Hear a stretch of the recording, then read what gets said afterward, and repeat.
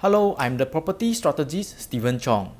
In my previous video, I have shared the location of Kopar Condo, amenities nearby, schools nearby, and future developments nearby.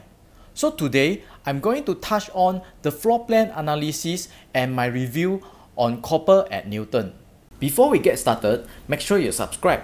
Click the alert notification, that way, as we release more content like this, you will get notified.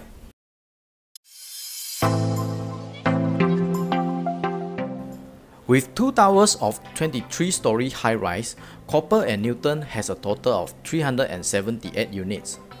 Expected to be complete in 2023, the main entrance is at Makeway Avenue, with basement car park. Many projects nearby are less than 200 units, with limited facilities and landscaping. Here in Kopar Condo, we have plenty of facilities for you. Swimming pool, gym, tennis court, hydrotherapy pool, hot spa pool, cold spa pool, steam room, massage room, and more. Ranging from 1 bedroom to 5 bedroom and penthouses, Kopar Condo is suitable for on-stay as well as investment.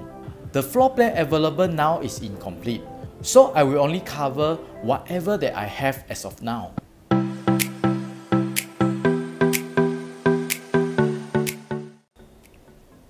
Okay, let's start with the one bedroom layout. There are three stacks of one bedroom and only one type, which is 517 square feet. If you have seen Avenue South Residence one bedroom show flat before, the layout is almost similar. When you open the main door, there are some space on your right hand side where you can build the shoe cabinet with sofa seat. The open concept kitchen with the built-in cabinet is on your left hand side. I would suggest to shift your dining table to the balcony so that your living room will be more spacious. If you worried about the heat at the balcony, you may install the Jeep track and the ceiling fan to cool down. The bedroom and bathroom is on your right hand side.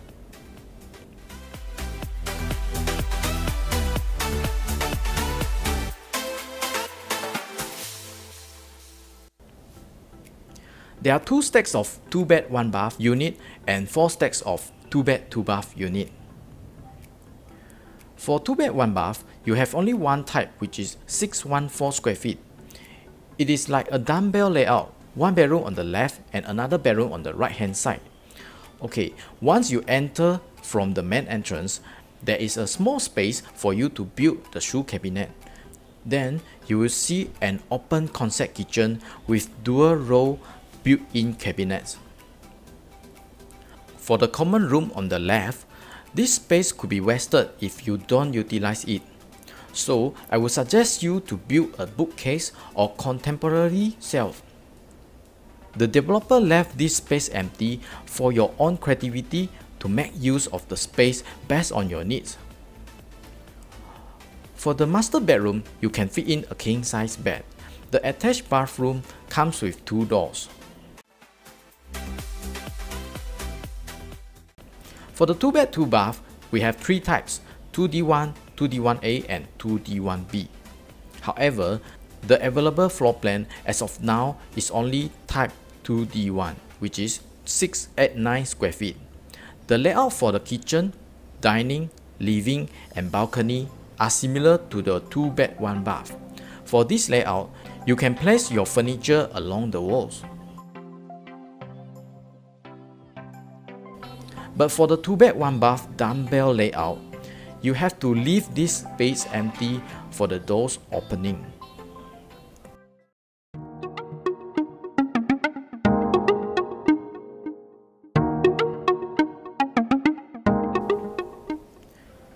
Next, we have the 3 bedroom classic and 3 bedroom deluxe. All are situated at the corners of the building. What I have now, the floor plans are Type 3C1 and 3D2. For the Type 3C1, you have the foyer which offers better privacy for your unit.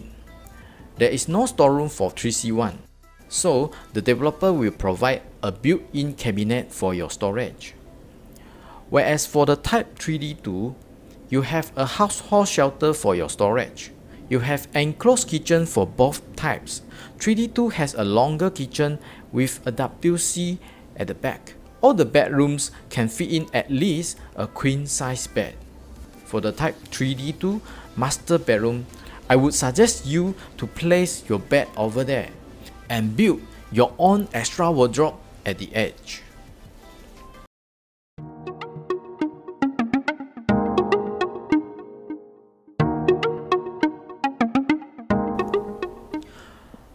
We have three types of 4 bedroom units 4D1, 4D2 and 4D2A. The available floor plan as of now is 4D1 which is 1604 square feet. This should be the only one stack with dual view. Good for natural brightness and air ventilation. And it has a private lift. Once you step out from the lift, there is an exclusive private lift lobby. This layout comes with 5.6 wide frontage living and dining area with good sized balcony. It also has a separated dry and wet kitchen. You have a household shelter, a yard and WC behind the kitchen. The key highlight here is the master bedroom.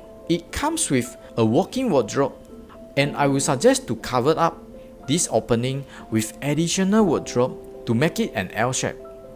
There is also a bathtub in your master bathroom.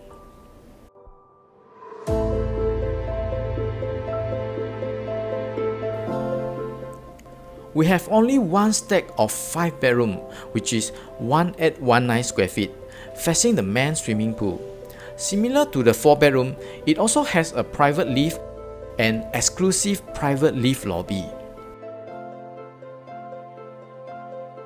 Also comes with 5.6 meter wide living and dining area with good sized balcony.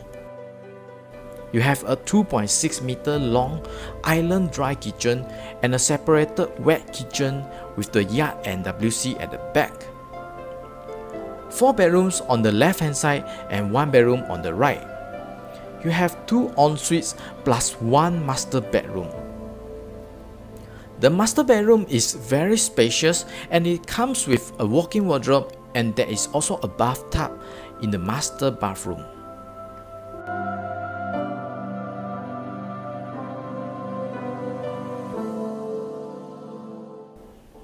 Kopar has 8 units of penthouses in total and every single unit layout is different from another. I only have one of the floor plan as of now, which is PH1. It has 6 bedrooms in total plus one study room and another family area which can be enclosed. You have 10 meter super wide frontage, 5.4 meter high ceiling living and dining. Plus the luxurious 3.5 meter long island dry kitchen. In addition, you also have the bathtub in both master and junior bathroom. The master bedroom comes with good sized walk-in wardrobe and a private study corner. Now, the most important is still the price, right? I was told that the price at Kopar will be starting from 2100 plus PSF. Even the RCR projects also come close to our price range.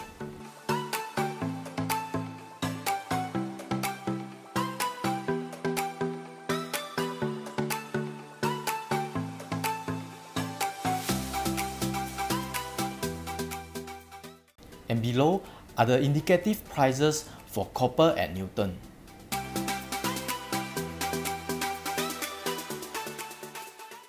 Look at the price quantum, it is really attractive. If it is not due to the virus outbreak, we wouldn't have this opportunity to own a CCR condo at RCR price.